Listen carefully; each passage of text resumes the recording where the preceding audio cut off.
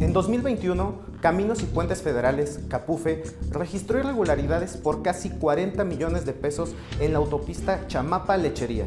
De acuerdo con una auditoría del órgano interno de control, la institución reportó pérdidas por 18.3 millones de pesos por la evasión en el pago de peaje, así como la falta de equipo e instalación de estos en distintas casetas. El 24 de mayo de 2022, el presidente López Obrador reconoció que existen anomalías en las autopistas administradas por Capufe. Esta investigación aún no está concluida, por lo que podría aumentar el reporte de irregularidades.